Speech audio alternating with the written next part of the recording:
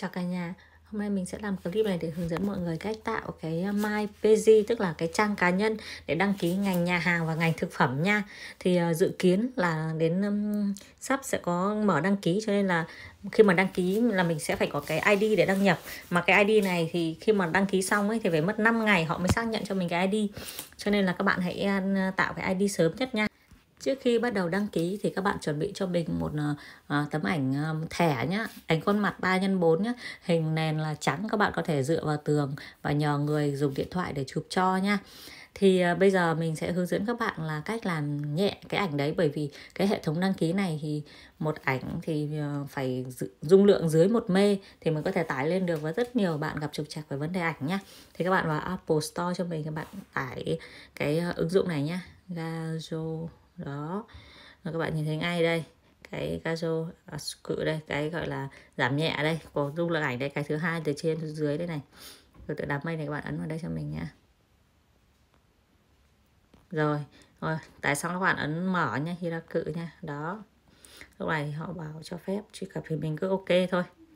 Rồi mình đóng cái quảng cáo này của họ đi. Thì chỗ này là mình bắt đầu cái biểu tượng nút vàng này nhá mình ấn vào để mình chọn cái ảnh của mình nhá. Ví dụ mình chọn cái tấm ảnh này đi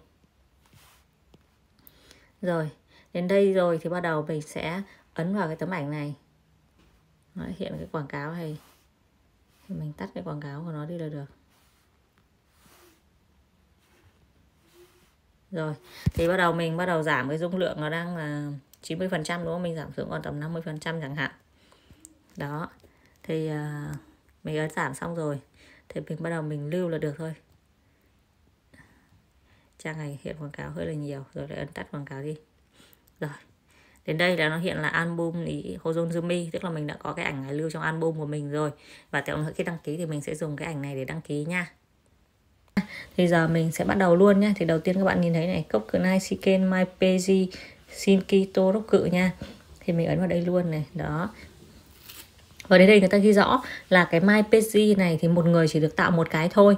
Nên là một cái này mình có thể đăng ký được cả ngành nhà hàng, cả ngành thực phẩm. Và các bạn không nên tạo nhiều ID nhé Nếu mà tạo nhiều thì là sẽ không được chấm điểm Và cái kết quả cũng sẽ à và có không được công nhận hoặc là không được tham gia thi nha. Đầu tiên các bạn nhập cái địa chỉ email của các bạn vào đây nhé Các bạn nhập chính xác nhé Địa chỉ email của các bạn nhé Rồi, nhập xong thì mình ấn chữ số xin sơ tự nha rồi họ báo là họ đã gửi cái email cái link đăng ký vào cái email của mình. Các bạn nhìn thấy ngay không? Cái link đã vừa đến này rồi. Các bạn mở email ra ngay nhé thì họ có cái link màu xanh đây nhá. Đó cái link màu xanh này mình ấn luôn vào cái link màu xanh này. Mình mở ví dụ bằng Safari đi. Đó. Thì nó sẽ hiện ra thông tin để cho mình nhập nha thì cách nhập như sau.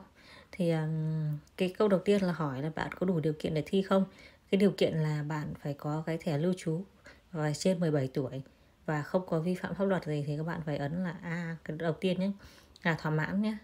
Tiếp theo thì họ hỏi là uh, dù kể cả bạn thỏa mãn cái điều bên trên nhưng mà bạn vẫn không thể tham gia thi được nếu như mà bạn có những cái vi phạm hay là những cái gì bên dưới đây là toshite imasen nhé. Đó.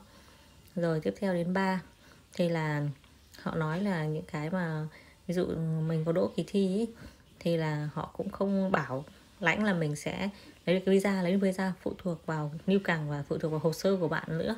Đó, thì mình ok, mình đồng ý với cái này nha. Rồi, đến đây thì họ kiểm tra email của mình rồi. Rồi mình nhập mật khẩu để đăng ký nhé mật khẩu từ 10 đến 30 ký tự nhé bạn nhập là chữ số thôi nhé thì mình toàn số cũng được, ví dụ 2020 2020 2020 cũng được. 2020 2020 2020 đấy ví dụ thế.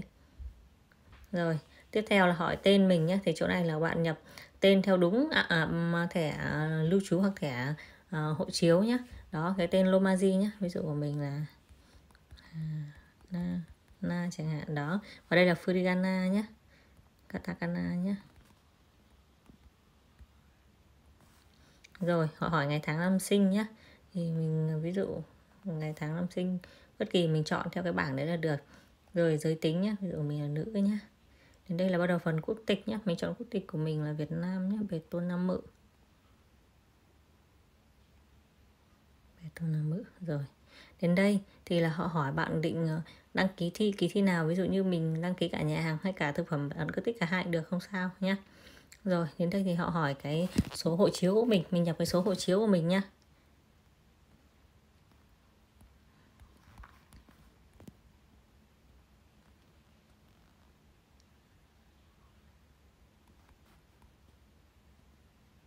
Rồi, đến đây thì hỏi mình là có thẻ lưu trú hay không.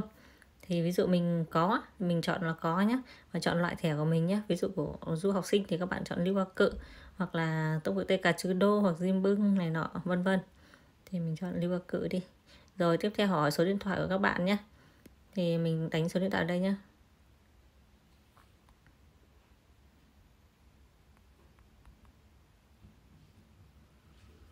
rồi tiếp theo là họ hỏi về địa chỉ nhé xem mình đang sống ở đâu nhé thì ví dụ như mình ở Tokyo, mình chọn Tokyo nhé rồi, đến bước này thì họ sẽ hỏi cái ờ, ảnh thẻ nhé các bạn phải tải cái ảnh thẻ lên nhé và ảnh này là phải ờ, không được nặng quá nhé rồi, đến bước này các bạn ấn vào file rửa xin tác cự cho mình nhé chọn cái tấm ảnh mà lúc nãy các bạn vừa mới làm giảm nhẹ nhé rồi, sau đó thì chỗ dưới đây thì các bạn cứ chọn nasi cho mình nhé mình không phải đối tượng được ưu tiên nhé người support uh, support tổ tăng thô xạ cho các bạn cũng chọn IE cho mình nha.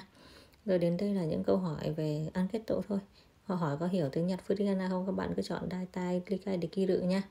Rồi đến đây là họ hỏi là khi đã thi đậu thì bao lâu sẽ lấy visa? Thì mình có thể dùng 3 tháng 6 tháng một năm tùy của mình. Mình cứ trả lời tùy ý nhé ví dụ mình chọn 6 tháng chẳng hạn. Rồi đến đây thì mình đồng ý với các điều kiện của họ về để đăng ký kỳ thi nhé đôi ý nha. Và mình ấn các cự nin gamen ý nha rồi đến đây họ nói là vẫn chưa đăng ký xong đâu hãy kiểm tra lại thông tin một lần nữa. Bạn nhìn lại một lần nữa xem những thông tin các bạn điền ấy có đúng không có chính xác không có chỗ nào sai không ví dụ tên Đấy, ngày tháng năm sinh quốc tịch vâng số thẻ lưu trú và ảnh của mình đó.